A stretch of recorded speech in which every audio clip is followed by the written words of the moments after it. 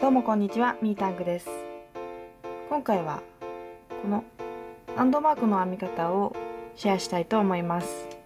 アンドマークはアルファベットと一緒によく使えると思いますので、A とか、A とかね、A&C とかね、CO とか、いろいろ使えると思いますので、よかったら編んでみてください。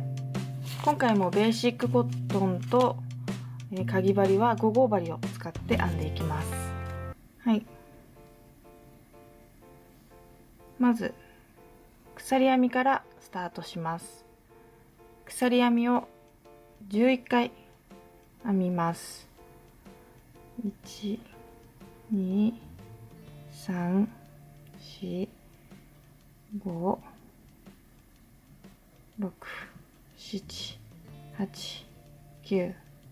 10、11そしたらねじれないようにして最初の鎖編みの目のところにかぎ針を刺してよいしょ。引き抜きます。はい。こんな感じ。そしたらここから6回鎖編みをします。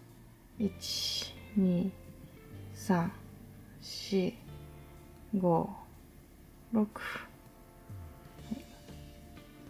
そしてかぎ針から数えて3目目の裏山とその次の目で減らし目をします。中長編みの減らし目をしますのでかぎ針に糸を引っ掛けて123目目。こですね。裏山の123目目にかぎ針を入れます。そして持ってきます。で今回はこのまま次の目にかぎ針を入れます。そしてまた持ってきます。でこの4本を引き抜きます。次と次の目でも同じことをします。かぎ針に糸を引っ掛けてから持ってきてそのまままた次の目ですね。ここです。そしていっぺんに引き抜きます。そしたらここの鎖編み11で輪にした部分に入っていきます。ここに、えーと最初の鎖編みにこうぐるっと引き抜いた目が鎖編みの最初の目ですがあるんですけどもここと次の目に1つずつ中長編みを入れます。かぎ針に糸を引っ掛けてこうですね。よいしょ。よいしょ。1次の目。2そしたら次の7つ次の7つ、えー、増し目をしていきます。7回増し目。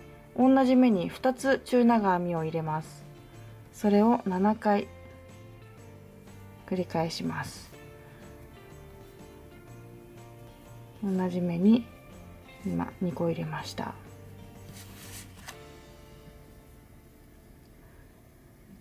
1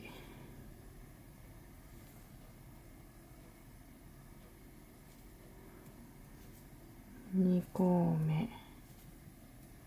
23目目。さあ。うん。し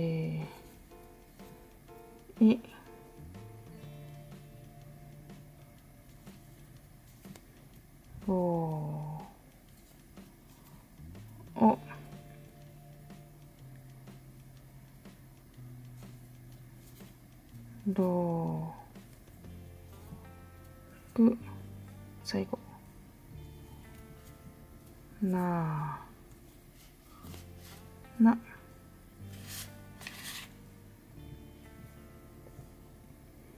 そしたら残りがこんな感じになっています。残りの2目で1つずつ中長編みを入れていきます。1 2こうなりました。そしたら、えー、ここに戻ります。ここに、えー、こことここ分かりますかね。こことここで、えー、減らし目をします。中長編みでこんな風になっている。こう。で次の目。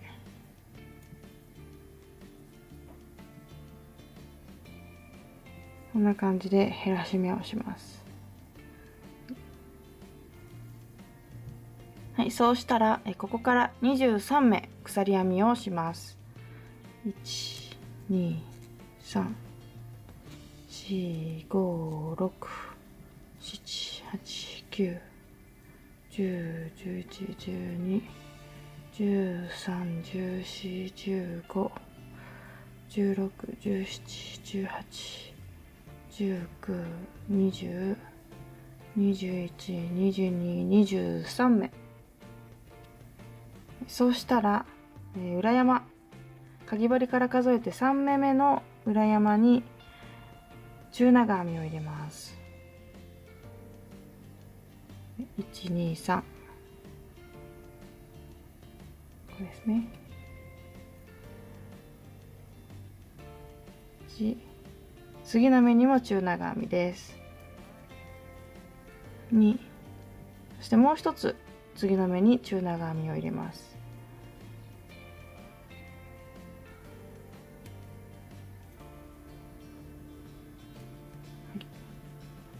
そしたらここから鎖編みを5回です。12345そして同じように、えーかぎ針から数えて123目目の裏山に、えー、中長編みを編み入れます。1次もです。よいしょ。2今こんな感じになっています。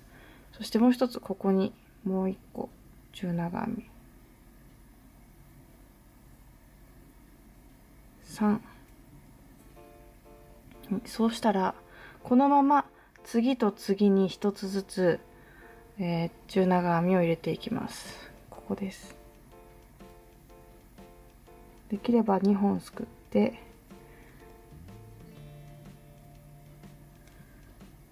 1で次ここ。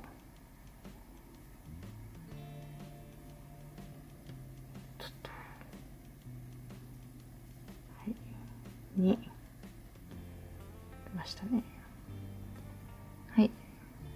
そしたら、えー、ここであればマーカーでなければまあ糸とかをくっつけて後でつなぐ時に目印にしたいので、えー、ここに印をつけたいと思います。こういうマーカーがなければあの糸をねこうグッと入れて結んどくといいと思います。そしたら、えー、ここの鎖編みに戻って11という感じで中長編みを1つずつ入れます。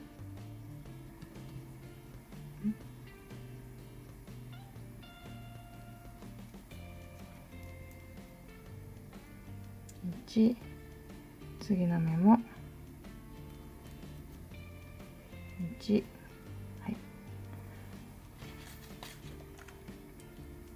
そしたらここから、えー、7回減らし目をします。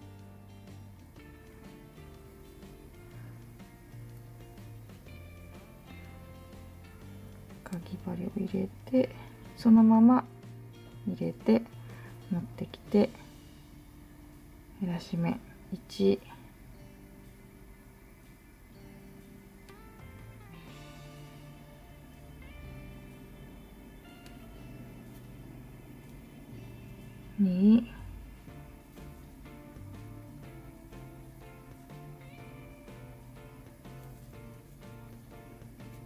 三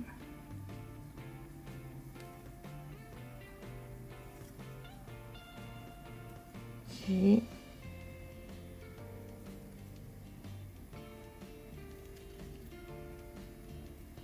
五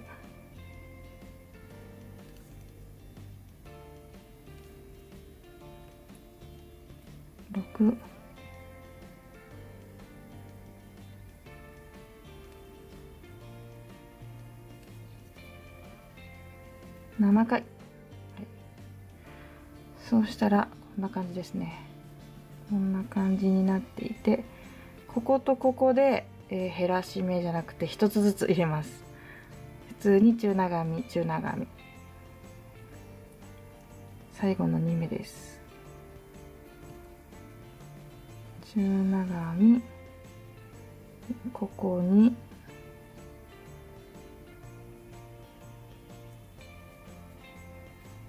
中長編みそしたらここに今入れたんですがこの隣の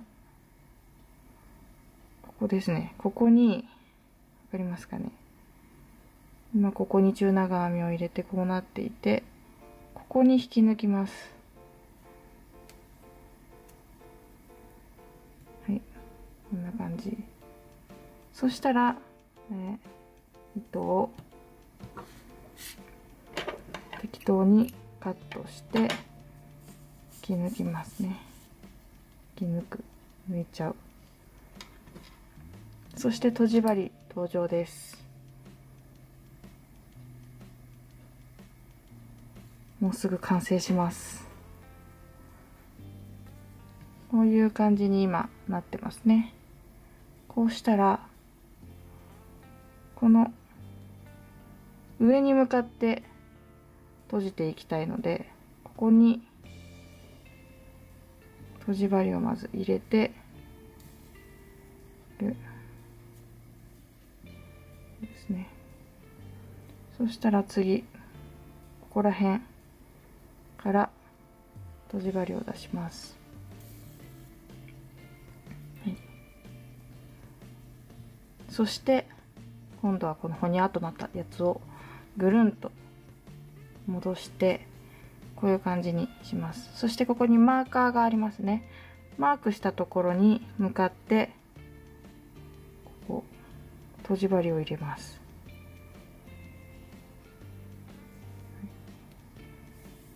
ギュッと。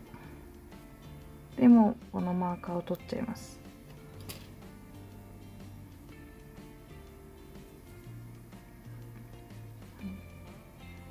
そしたら反対側でつなげます。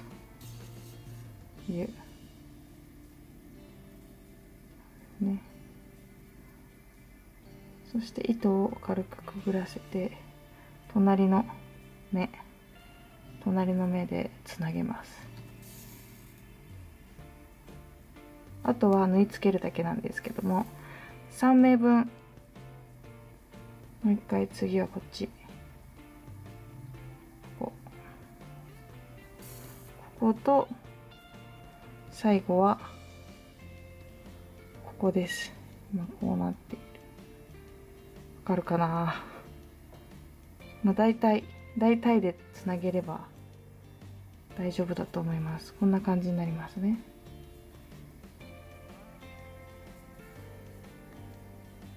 念のためもう一回回して。ここここの最後の目は一番最初に中長編みの減らし目をした頭の目ですね、はい、そして裏に通して表に響かないように糸をくぐらせたら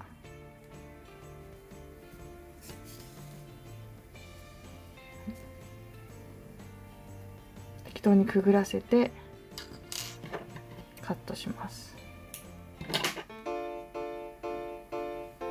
でこの糸も糸処理をします。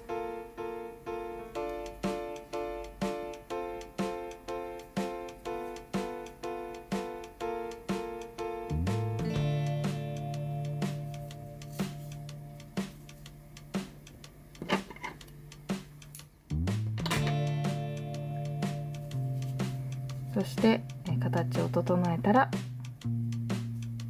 完成です。アンドはいできました。アンドアンドよかったら作ってみてください。今日はアンドの編み方の紹介でした。じゃあねバイバイ。